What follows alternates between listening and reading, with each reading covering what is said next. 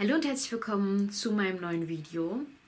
Unter einem Video, ich glaube es ging um das Get Ready With Me Video, poppte in den Kommentaren ein Thema auf, was ich sehr spannend fand, nämlich das sich nicht gesehen fühlen.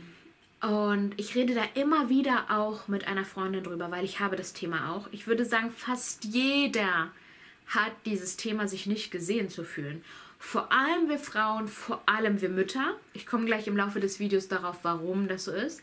Aber ich glaube auch viele Männer und bei denen ist es aufgrund dieser toxischen Männlichkeit, die sich das nicht zugestehen dürfen und die sich dann oft im, eben in Beziehungen oder im Job auch nicht gesehen fühlen. Und was ist das eigentlich und woher kommt das und wie schleicht sich das ein und was können wir dagegen tun? Darum geht es in diesem Video. Ich habe mir einen Stichpunktzettel gemacht, weil ich mich bei solchen Themen gerne super schnell verzettle und vom Hundertste ins Tausendste komme. Und das soll hier kein so langes Video werden, damit ihr euch auch das hoffentlich zahlreich anschaut. Wenn wir dieses Thema haben, uns nicht gesehen zu fühlen, dann machen wir unser eigenes Wohlbefinden von anderen Menschen abhängig von der Anerkennung anderer Menschen, von der Akzeptanz anderer Menschen. Und warum ist es so? Das sind ganz oft Muster, die schon in der Kindheit entstehen, weil wir da einfach abhängig, also wirklich lebensabhängig von unseren Bezugspersonen sind, von unseren Eltern sind. Und wenn wir uns von denen nicht gesehen fühlen, ist es, dann macht es was mit uns. Und ich komme gleich darauf zurück, wie sich das in unserem heutigen Erwachsenenleben zeigt. Aber es entsteht prinzipiell schon erstmal dieses Gefühl von, ich werde nicht gesehen. Und das kann ganz viele Gründe haben. Das kann Gründe haben, weil wir unsere Gefühle nicht ausleben durften als Kinder, weil wir für unsere Eigenarten nicht gefeiert wurden, sondern abgewertet wurden, weil wir darauf getrimmt wurden, uns anzupassen und nicht so individuell zu sein, weil wir in in Formen gepresst wurden. Du musst gut in Deutsch und Mathe sein. Dass du gut in Kunst bist, ist scheißegal. Das interessiert niemand, das wertschätzt auch niemand. Und da geht es bei den meisten los, dieses Gefühl zu haben, nicht gesehen zu werden. Und dann ist es ja, wie sich eine selbst, eine sich selbst ich hadere immer an diesem Ausspruch, selbsterfüllende Prophezeiung. Wir leben dann nach diesem Muster, sich nicht gesehen zu fühlen. Und wir tun selber ganz viel dafür, dieses Muster aufrechtzuerhalten. Indem wir uns Partner suchen, die uns nicht sehen. Indem wir in Jobs rutschen, unter Chefs arbeiten müssen, die uns nicht sehen. Indem wir uns selber in Muster verstricken, die dafür sorgen, dass uns andere nicht sehen. Zum Beispiel entwickeln wir Hautkrankheiten, Übergewicht, um uns zu schützen, um einen Mantel, um unser Strahlen zu legen, um nicht gesehen zu werden. Und das ist zum einen dieses Muster, weil wir das schon kennen und unterbewusst, weil sich da Glaubenssätze festgesetzt haben, unterbewusst treffen wir Entscheidungen, ähm, die dazu führen, dass dieses Muster weitergeführt wird, dass wir nicht gesehen werden, weil wir selbst dafür sorgen. Aber es ist auch ein Schutzmechanismus, weil wir eben Negatives in der Vergangenheit erlebt haben und uns davor schützen wollen. Und dann ist es manchmal ein Schutz, nicht gesehen zu werden. Ähm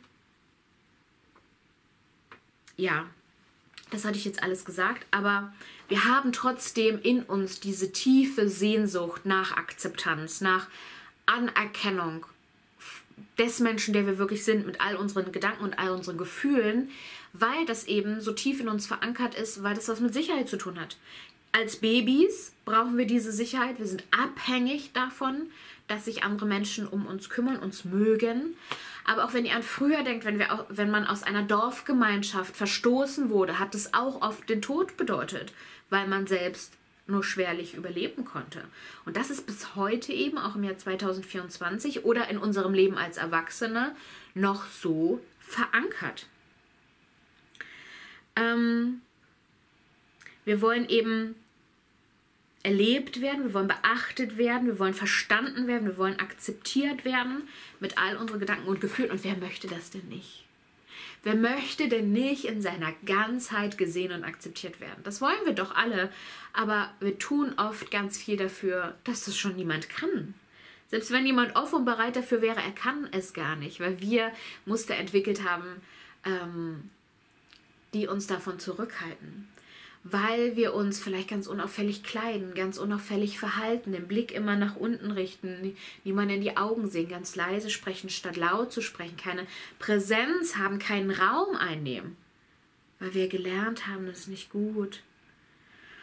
Ähm, und das ist so die Krux dahinter, dass wir selbst ganz, ganz viel dafür tun, dass das tatsächlich so ist, dass wir nicht gesehen werden. Und indem wir aber dieses unser Wohlbefinden von der Akzeptanz anderer abhängig machen, geben wir auch die Verantwortung ab. Die anderen sehen mich nicht. Mein Chef sieht meine Leistung nicht. Mein Partner sieht nicht, was ich hier für die Kinder und den Haushalt tue. Die Kinder sehen nicht, was ich alles für sie tue. Ich gebe die Verantwortung für mein Wohlbefinden, habe ich kein Geiz dafür. Das sind ja die anderen, die mich nicht sehen. Aber es sind unsere Muster, die dafür sorgen. Und wir können immer bei uns selbst anfangen. Wir beginnen mit der Veränderung immer in uns selbst. Darum geht es jetzt, nämlich das Ganze mal umzudrehen und zu sagen, ich sehe mich nicht. Und wo sehe ich mich denn nicht? Das heißt, wo übergehe ich meine Wünsche, meine Bedürfnisse, meine Grenzen? Wo wertschätze ich nicht, was ich tatsächlich alles leiste wo überfordere ich mich immer wieder? Gerade wie Mütter. Und wo höre ich mir und meinem Körper und meinen Symptomen nicht zu? Also auch wir sehen uns selbst nicht. Wir wertschätzen uns nicht, unsere Taten nicht. Wir übergehen ständig unsere Bedürfnisse, unsere Wünsche, unsere Grenzen. Wir hören nicht auf unseren Körper, der eigentlich schreit, dass wir eine Pause brauchen. Wir sehen uns doch selber nicht. Und das ist, glaube ich, jetzt der wichtigste Punkt. Wir sehen uns prinzipiell erstmal schon mal selber nicht. Und das ist der Punkt, wo wir eben auch ansetzen dürfen. Also was tue ich selbst auch, um nicht gesehen zu werden von anderen, von mir selbst. Und wenn wir das jetzt umdrehen, wie kann ich mich denn selbst mehr sehen? Also wo kann ich meine Wünsche äußern, meine Bedürfnisse erfüllen, meine Grenzen setzen? Wo kann ich mich selbst wertschätzen? Und das ist so ein komplexes Thema. Also Bedürfniserfüllung, ne? Wo kann ich ähm, Zeit für mich verbringen? Wo kann ich genug schlafen, genug Bewegung bekommen? Wo kann ich meinen Wunsch nach der und der Tätigkeit zum Beispiel erfüllen? Wo kann ich Grenzen setzen gegenüber meinen Kindern, meinem Partner, meinen Eltern, meinen Schwiegereltern, meinem Chef? Wie kann ich mich im Alltag mehr wertschätzen? Da so ein kleiner Tipp. Ich habe so eine ganz kleine Journal-Routine am Abend, wo ich mir nur aufschreibe, wofür kann ich mich heute anerkennen? Diese eine Frage, wofür kann ich mich heute anerkennen? Und da kommen dann so, ich sag mal im Schnitt, fünf Punkte drunter. Sich einmal am Tag zwei Minuten Zeit zu nehmen, um wirklich tatsächlich sich selbst für das, was man heute geleistet hat, wertzuschätzen dann machst du dich unabhängig davon, dass das von außen nicht kommt, weil wo sollte das bei mir tatsächlich auch im Außen herkommen? Das muss aus mir selbst kommen. Aber wir müssen uns diese Zeit nehmen. Wir brauchen eine Routine dafür. Sonst machen wir das auch nicht. Wir brauchen einen Anker dafür, um das tatsächlich in unserem Alltag zu etablieren. Und wenn wir das schaffen, dann übernehmen wir wieder die Eigenverantwortung. Dann sind wir ganz aktiv in der Gestaltung unserer eigenen inneren Zufriedenheit. Dann übernehmen wir wieder das Steuer. Dann übernehmen wir die Verantwortung. Wir geben das nicht mehr ab. Wir sind nicht mehr das Opfer. Wir kümmern uns jetzt selbst darum, gesehen zu werden. Und das Verrückte ist, wenn wir dann anfangen, uns selbst wieder mehr zu sehen, sehen Stück für Stück auch die anderen uns wieder, weil wir dieses Muster aufbrechen weil wir dann plötzlich vielleicht auch das Selbstbewusstsein erlangen, die anderen Klamotten zu tragen, uns die Haarfarbe, die wir da schon lange im Kopf haben, färben zu lassen, eine offenere Haltung haben, um den Blick nach oben richten, nicht mehr nach unten, den Menschen in die Augen schauen, lauter, klarer sprechen, Raum einnehmen. Und dann sehen uns auch andere. Und dann brechen wir eben auch diese Muster auf von, ich sorge selbst dafür, dass andere mich gar nicht sehen können. Da sind wir immer an dem Punkt, an dem wir immer wieder kommen, Veränderung beginnt bei dir.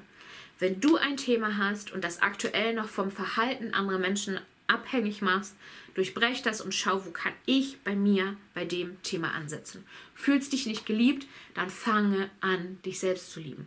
Du fühlst dich nicht gesehen, dann fange an, dich selbst zu sehen. Ich hoffe, das Video konnte euch unterstützen und hat euch erste Impulse gegeben, was ihr ganz konkret tun könnt. Wenn ihr da weiter reingehen wollt und Fragen habt, stellt die gerne in den Kommentaren, wenn ihr jetzt sagt, okay, aber wie mache ich das jetzt mit meinen Bedürfnissen, mit meinen Grenzen, mit meinen Wünschen, mit meiner Wertschätzung, dann schreibt es gerne in die Kommentare, auch wenn ihr noch weitere Fragen zu dem Thema habt oder so ein bisschen erzählen wollt, wie sich dieses nicht gesehen fühlen bei euch äußert.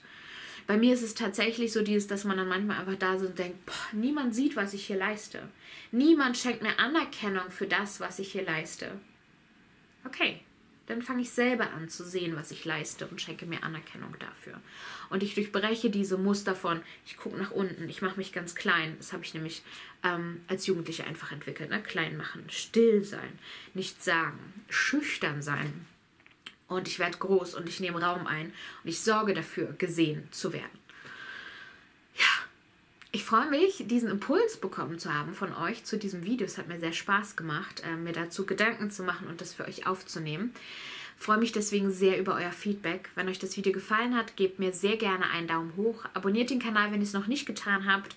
Und teilt meine Videos sehr gerne mit anderen Menschen, für die das interessant sein könnte. Vielleicht habt ihr euch erst letztens mit jemandem darüber unterhalten, dass er sich nicht gesehen fühlt. Dann könnt ihr ihm jetzt dieses Video weiterleiten danke euch sehr für eure Unterstützung und wir sehen uns ganz bald wieder beim nächsten Mal. Bis dahin, tschüss!